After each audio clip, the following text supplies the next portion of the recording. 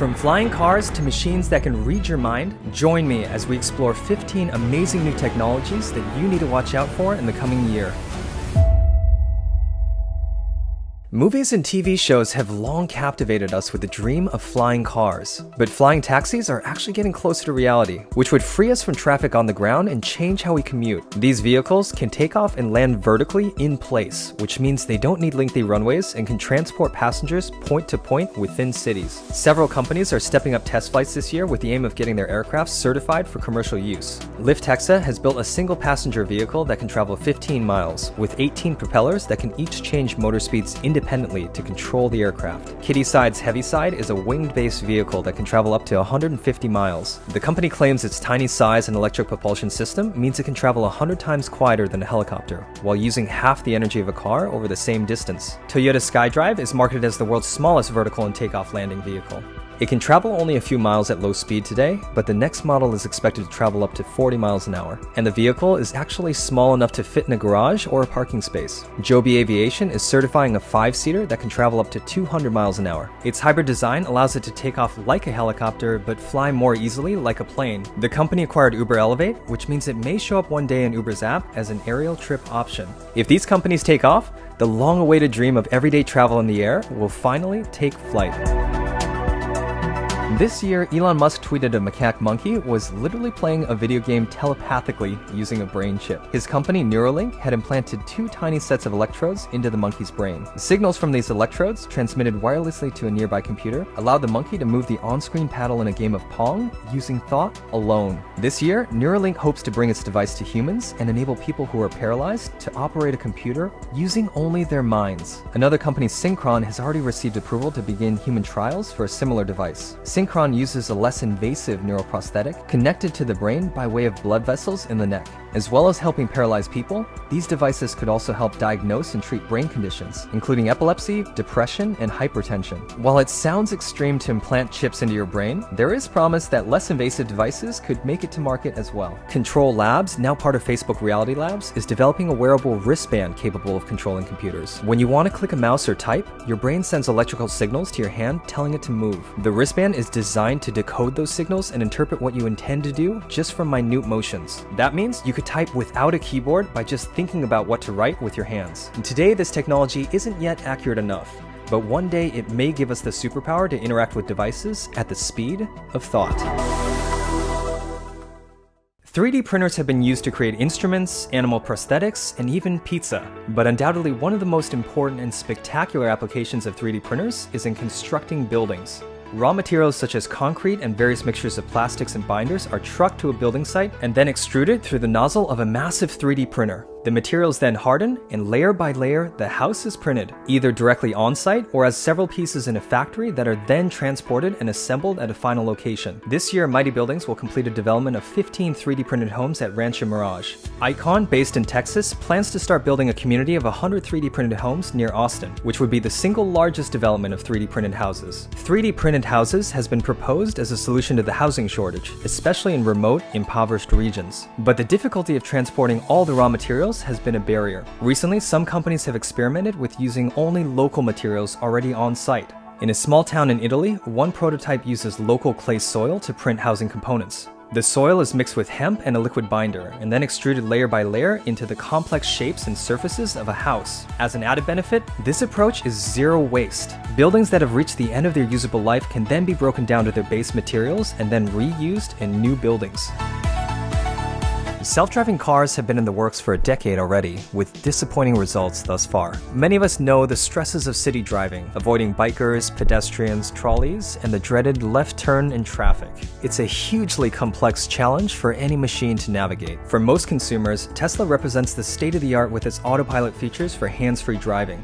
But we saw a huge landmark this past year, the first trials of true driverless taxi services run by Cruise. While these taxis are only available on a very limited basis Oasis in San Francisco, it nonetheless represents a huge step forward, and we may see yet even more progress in other environments that are more conducive to self driving vehicles, like mines and construction sites, trucks on highways, small delivery vehicles for last mile deliveries, and transport pods in retirement communities. And these environments are often less trafficked and easier to navigate than cities. And as self driving vehicles start becoming more common, we'll see profound second order effects on our lives. Vehicles may be rethought entirely now that there doesn't need to be a driver, and might be designed from the ground up for a more leisurely experience. If all vehicles on the road end up being computer controlled precisely, they could drive much faster, much closer to each other, eliminating traffic. And if commutes became much faster and more enjoyable, then cities may become less attractive, completely reforming our built environment and lifestyles.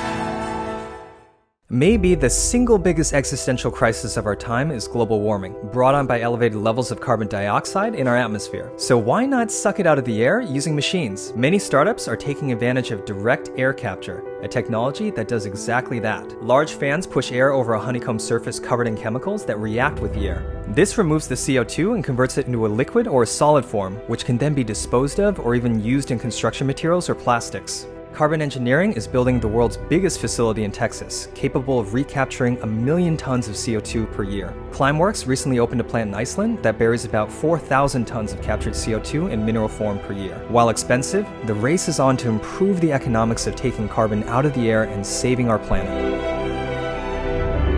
If the Earth is getting too hot, why not cool it down with shade? If that sounds crazy, there's actually some precedent here. The dust and ash released into the atmosphere by volcanoes has a known cooling effect. Mount Pinatubo's eruption in 1991 cooled the Earth by more than 1 degree for 4 years. Solar geoengineering would do the same thing, but intentionally. There's still a number of unanswered questions. How would it affect rainfall and weather patterns?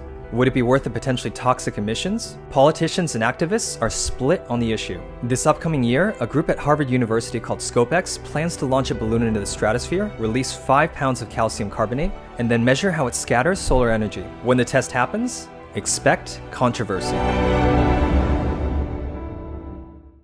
If we are to save the planet, we also need more efficient ways to grow our food.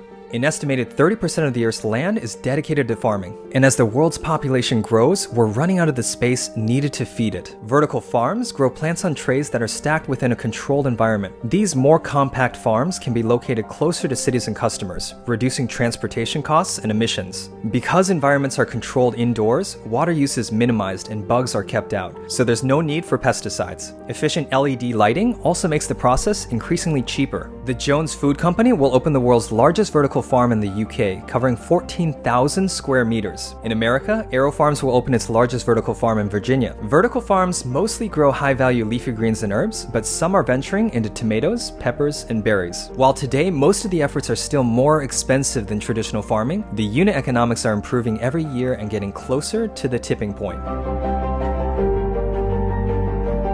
Ships produce 3% of all greenhouse gas emissions by burning maritime bunker fuel, a dirty diesel sludge. Sailors used to rely on the wind with sails, which are now making a comeback in high tech form. Michelin will equip a freighter with an inflatable sail that's expected to reduce fuel usage by 20%. Knauss Design is equipping eight ships with its pivoting and foldable hard wing sails. Other approaches include kites and giant spinning cylinders called Flettner rotors. By the end of this year, the number of cargo ships with sails of some kind is expected to quadruple.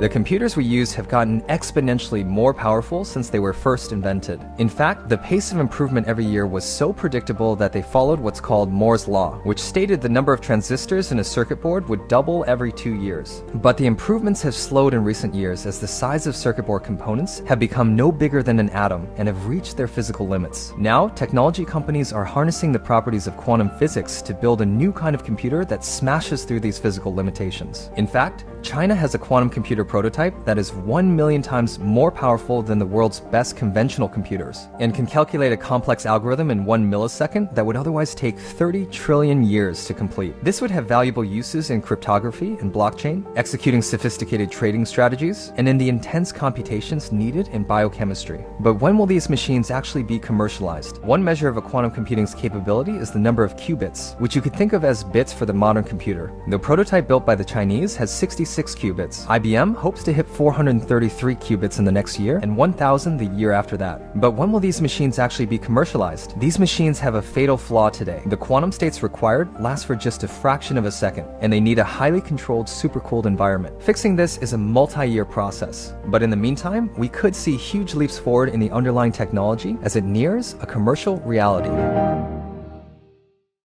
Virtual influencers have the usual social media footprint on Instagram, Facebook, or TikTok, but are completely computer generated characters. The best known is Lil Miquela, a fictitious Brazilian American 19 year old with 3 million Instagram followers. This is already big business in parts of Asia, like Japan, where virtual pop music divas called VTubers have millions of followers. Unlike a human, a virtual influencer will never show up late to a photo shoot, get obnoxiously drunk at a party, yell racist obscenities, or get old. And unlike a real celebrity, you don't need to pay the talent or hire a production crew to do a live shoot or incur the cost of a studio setup. So the potential of these virtual influencers is that their creators can make compelling content much cheaper than traditional media can. Technology like GPT-3 and generative AI will one day make it much more cost effective to mass produce content in a much more automated fashion. That would potentially even allow these virtual influencers to have one-on-one interactions with fans at a scale that would never be possible with today's celebrities.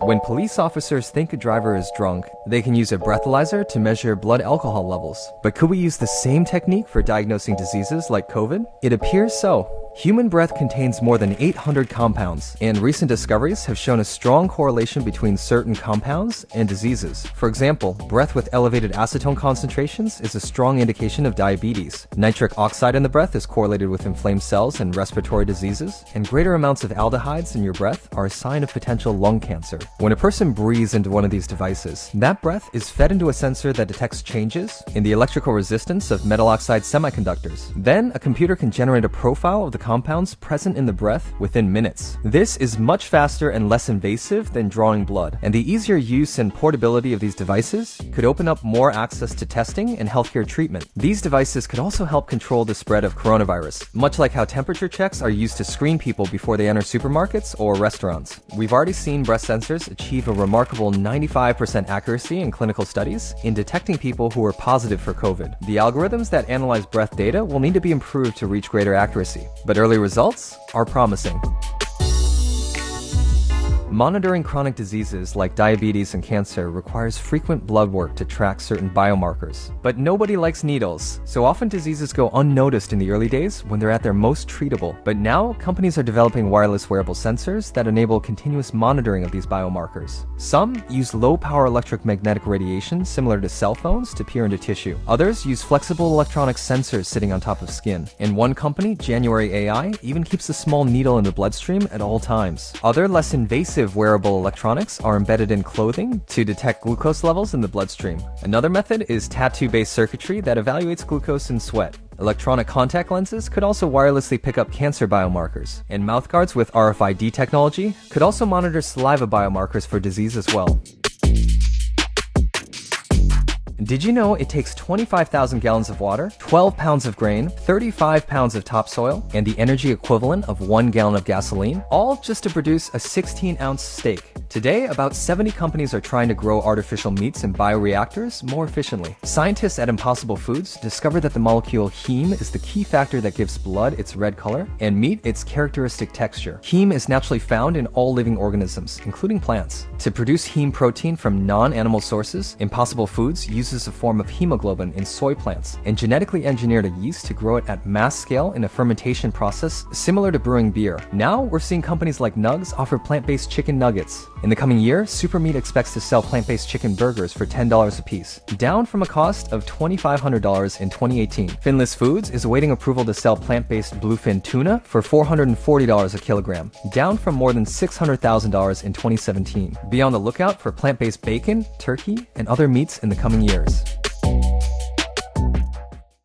Consumers have come to expect next day and same day delivery for the millions of products that they order. The next evolution of that may be near instantaneous delivery to everyone within 30 minutes, and technologists have long flagged drones as the key to making that happen. Zipline has already been delivering high value medical supplies to rural areas for years. Volansi has been delivering high value components for companies and the military on long haul routes. Although Amazon seems to have gone radio silent, Wing, a company within Google, has been testing deliveries worldwide, with plans to launch its mall to home delivery service later this this year. While delivery drones are taking longer than expected to get off the ground, expect to see continued investment as e commerce demand continues to explode.